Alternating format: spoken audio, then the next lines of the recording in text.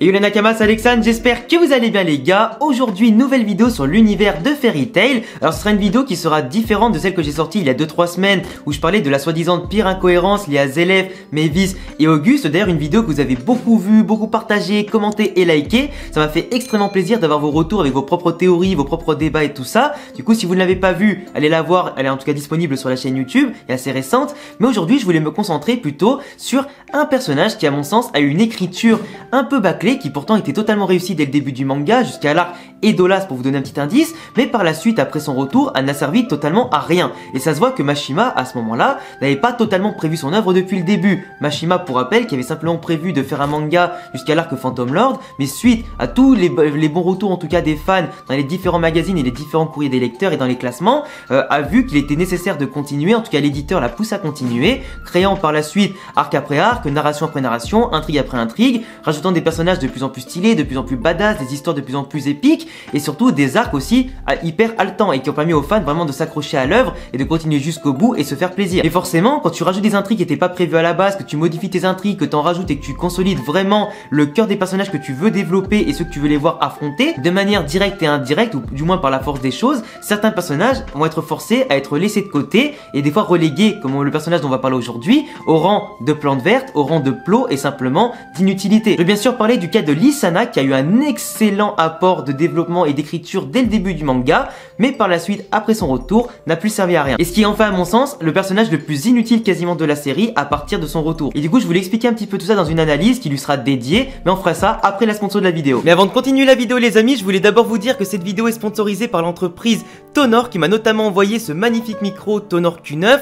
Tonor c'est une entreprise spécialisée dans la création et la vente de produits au niveau de l'audio, donc tous les micros type XLR ou encore des micros de type USB comme celui-ci. Donc ce micro Tonor Q9 fait partie des meilleurs micros USB du marché en termes de qualité de son, de régulation bien entendu du son, mais aussi surtout par rapport à son prix qui est vraiment assez accessible à seulement 70 euros avec le micro et l'ensemble des accessoires. Du coup vous avez accès notamment au bras mécanique, au petit support, au micro avec sa petite bonnette ou encore avec le filtre anti-pop si jamais tu n'utilises pas la bonnette. Et vraiment si tu veux commencer à travailler sur YouTube, sur Twitch, faire des podcasts audio ou simplement te faire plaisir à chanter ou créer du son, tu peux utiliser ce micro là qui est vraiment hyper accessible, hyper efficace en termes de performance, hyper simple à installer, tu installes juste vite fait le bras mécanique, tu branches ensuite en USB et le tour est joué. Et vraiment pour commencer une activité, il n'y a rien de mieux je pense en termes de rapport qualité-prix et surtout en termes de performance où là le niveau quand même de qualité est assez élevé. Et pour avoir testé quand même beaucoup de micros sur ma chaîne YouTube en 5 ans, je peux te dire que celui-là, outre le fait bien sûr que c'est une sponsor, c'est vraiment un des meilleurs micros que j'ai pu tester, tu peux en être sûr. Du coup je te mets tous les liens du site de Tonor et surtout le lien Amazon pour pourquoi pas acheter le kit entier du micro dans la description. Fais-toi plaisir en tout cas avec un micro de qualité.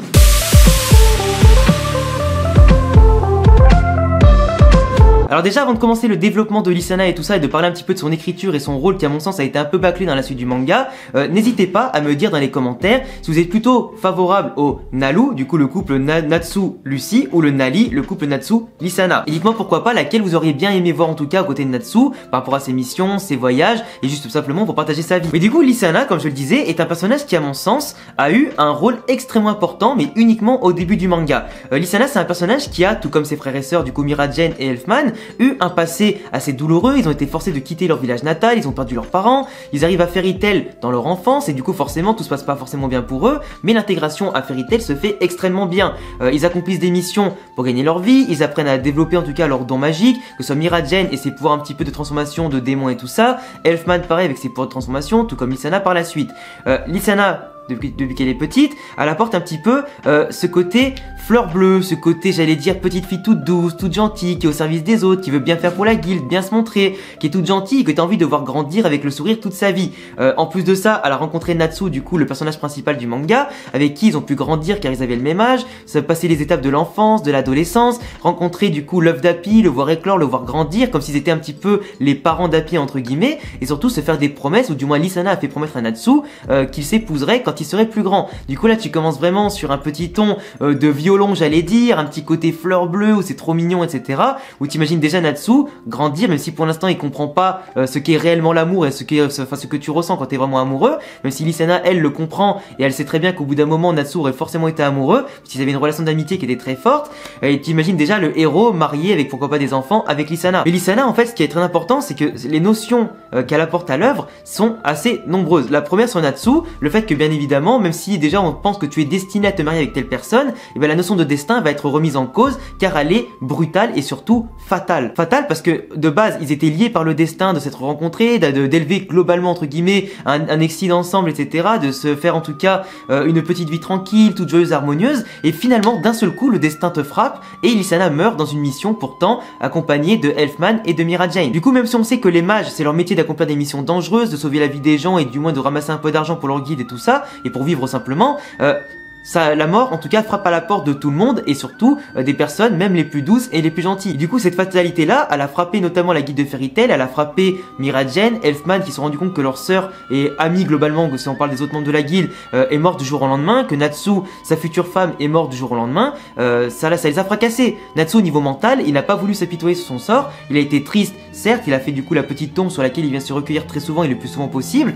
mais au final, il s'est dit qu'il valait mieux continuer à vivre, à s'entraîner, devenir plus fort, pour justement que ne plus aucun de ses camarades meurt sous ses yeux ou meurt même quand il est pas là, tu vois. Et surtout, euh, Natsu, il veut faire en sorte de vivre pour Lisana aussi, ne pas s'arrêter de vivre parce qu'elle est morte, pour simplement bah, partager ses rêves et continuer à la porter dans son cœur le plus longtemps possible. Du coup, Natsu a beaucoup mûri par rapport à ça. Et de l'autre côté, ben sur Miragen, il y a eu quand même des effets catastrophiques où Miragen, qui était pourtant une des mages de rang S les plus puissantes à l'époque et qui l'est encore aujourd'hui, maintenant qu'elle s'est réveillée, qu'elle se rebat, elle est d'ailleurs toujours plus forte qu'Erza à mon sens.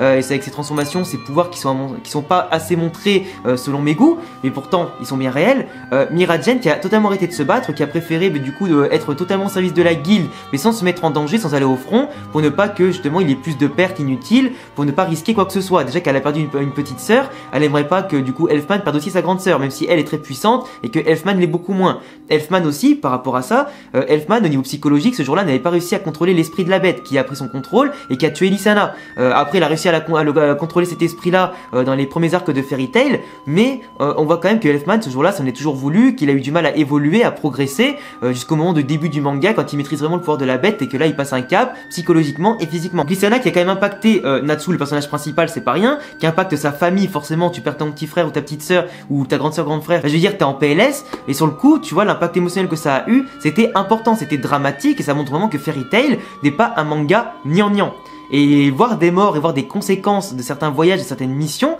et ce que ça peut avoir psychologiquement sur certains personnages, ça montre aussi toute la profondeur que peut apporter Mashima à des, personnages. Et du coup, euh, le fait que Lisana, en fait, à partir de l'arc d'Edolas, est revenu. Alors nous, ça nous a tous mindfuck. On a tous été choqués, je pense, de voir ça, que la Lysana de ce monde-là, de Earthland, a été échangée avec celle d'Edolas qui est justement morte. Et pour contrebalancer, elle a été attirée dans l'autre monde au moment où elle allait crever. Elle est restée en vie euh, contre toute attente, parce que normalement, elle aurait dû crever sur le coup qu'elle a mangé, euh, vu qu'elle était quasiment paralysée, elle pouvait plus bouger, elle perdait vraiment sa conscience. Donc ça, on peut dire que c'est un peu du bullshit qu'elle est restée en vie.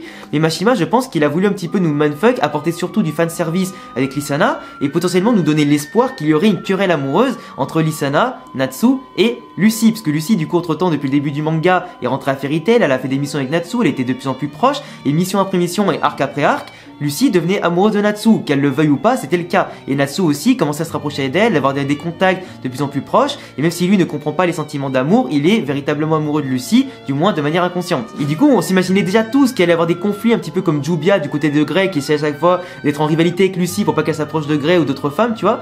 Et, du coup, ben là, pour le coup, on a été déçus, parce que Lisana, forcément, c'est pas son caractère d'être jalouse, mais on aurait pu penser qu'en retrouvant Natsu, et ben tu vois, elle s'est dit, bah vas-y, je vais enfin pouvoir retrouver mon monde, mon frère, ma soeur, retrouver celui que j'aime depuis le début, et simplement, pourquoi pas repartir de zéro. Après, elle a vu qu'il y avait Lucie qui était apparue, qui avait pris un petit peu sa place, et elle n'a pas essayé de s'imposer par rapport à ça. Tout comme Natsu qui n'est pas retourné vers Lisana. Et ça, encore une fois, je trouve ça quand même étrange, parce que certes, Natsu avait plus accepté le deuil de Lisana euh, que Miragen et Elfman, mais quand elle est de retour, et eh ben il s'est pas rapproché plus que d'Elsa, que, enfin plus que il s'est pas rapproché d'elle plus que ça en fait. Il a laissé de côté comme si c'était un décor. Mashima n'a plus développé leur relation comme elle était avant, même s'il est clair qu'après autant d'années, euh, il ne peut pas se passer la même chose en termes de développement. C'est comme quand tu vois plus quelqu'un pendant des années, des années. Même si c'est ton meilleur pote, c'est vrai que ça changera pas grand chose, mais votre relation n'évolue plus. Tu vois ce que je veux dire? Euh, Alors que du coup là, Lisana et Natsu, qui étaient plus que des amis, euh, finalement, bah, ils sont restés au point mort. Ils se parlent de temps en temps, ils se donnent deux trois phrases de dialogue, mais ils passent plus de temps ensemble, ils discutent plus, et c'est quand même, tu vois, hyper étrange Comme si Lisana, se... comme si Mashima ait fait en sorte que Lisana, bah justement, reste en retrait volontairement par rapport à Natsu, qu'elle jette une croix sur lui, et qu'elle laisse Lucie sur le devant de la scène, et que même en termes d'amitié, eh ben, elle est limite plus amie avec Natsu, ou du moins de, une amie plus éloignée, quoi. Alors que la joie, et c'est contradictoire parce que la joie que Natsu a en retrouvant Lisana et inversement, elle était quand même palpable, elle était énorme. Et pourtant, bah, dès la fin de l'arc c'était fini en fait. Et pareil, Lisana, tu pouvais penser qu'avec son retour, peut-être qu'elle allait développer des pouvoirs, qu'elle allait être plus proche, plus forte en tout cas que sa sœur Miragen, qu'elle allait pourquoi pas accompagner euh, Natsu et les autres au front pendant l'émission. Et pas du tout. Elle a juste servi avec quelques pouvoirs à se développer, à se battre, etc. Mais au finalement, elle n'est pas allée plus loin. Son écriture n'est pas allée plus loin. On n'a pas eu une nouvelle Lisana, on n'a pas eu une Lisana badass, on n'a pas eu une Lisana qui aurait été digne, pourquoi pas, euh, d'être la rivale de Lucie. On n'a pas eu ça. Et c'est un petit peu dommage parce que Natsu a son rival avec Grey, mais on peut pas vraiment dire que Jubia est la rivale de Lucie, ça n'a rien à voir. C'est pas du tout même, la même circonstance, c'est pas du tout les mêmes choses. C'est plus Jubia qui est en rivalité avec Lucie que l'inverse. Il n'y a pas de sentiment réciproque. Alors que là, on aurait pu avoir pourquoi pas une Lysana et une Lucie qui auraient pu être encore plus, euh, peut-être un peu dans le fan service si on avait vraiment insisté sur l'amour par rapport à Natsu, mais ça aurait pu être une rivalité intéressante qui, à mon sens, a été gâchée par Mashima et qui n'avait peut-être plus la place scénaristiquement de la mettre en place. Du coup, en se focalisant sur Erza, Jubia, Lucie, Natsu, Grey et Gajil, euh, forcément, il n'avait plus beaucoup de place pour deux personnages principaux, etc. Et justement, qui n'a pas passé de palier en termes de pouvoir, qui n'a pas progressé, même en termes de mentalité, elle a progressé bien sûr, elle a mûri avec le temps, mais finalement, elle n'a pas apporté grand chose. Et pour moi, elle a plus fait partie du décor et des plantes vertes, en tout cas de la guilde, qu'autre chose à partir de l'arc des Dolas. Elle s'est battue à des moments, euh, comme sur euh, l'arc de l'île Tenro, etc., mais elle n'a pas été intéressante. Elle s'est fait foudroyer à chaque fois, elle n'a pas eu un rôle plaisant, elle n'a pas été mis plus que ça en danger, elle n'a pas été plus utile que ça, elle n'a pas eu des réflexions aussi hyper intéressantes. Donc à mon sens, tu vois, la faire revenir, c'était plus de l'ordre du fan service. Moi, à mon sens, ça aurait été limite encore mieux euh, qu'elle ne revienne pas du tout, que Aedolas, on ne la revoit pas, et que vraiment ce personnage-là ne fasse partie que du passé. Parce que faire revivre un personnage de manière assez bullshitée, déjà que Fairy Tail a beaucoup mangé par rapport aux haters qui avaient insulté Mashima avec toutes les fausses morts, etc. Et bah pour moi, Lisana fait partie de ces critiques-là, à juste titre, parce que si tu me fais revivre un personnage, c'est pour qu'il ait un intérêt pour la suite. Si tu me le fais revivre pour qu'il n'ait aucun intérêt, ça sert à rien. Parce que ok Natsu, il est content, il, a une, il retrouve quelqu'un qu'il aimait beaucoup avant, ses frères et sœurs aussi, mais je veux dire Miragen avait déjà surmonté euh, le deuil de, sa, de la mort de sa sœur à partir de l'arc de la bataille de Fairy quand elle a recommencé à se battre pour protéger Elfman et la guilde. Elfman pareil en maîtrisant le, le pouvoir de la bête, et après il avait déjà surmonté ça aussi. Donc au final, euh, ils ont surmonté ça pour que tu remettes leur sœur au milieu, au milieu, imagine elle recrève derrière, c'est encore pire tu vois. Euh, donc à mon sens, le rôle de Lysana n'avait aucun sens. Surtout à partir de l'arc et de son retour. Enfin voilà, en tout cas, c'est tout ce que j'avais à dire par rapport au personnage de Lysana. C'est un personnage que pourtant euh, j'appréciais dès le début par rapport aux flashbacks qu'on a montré d'elle, etc.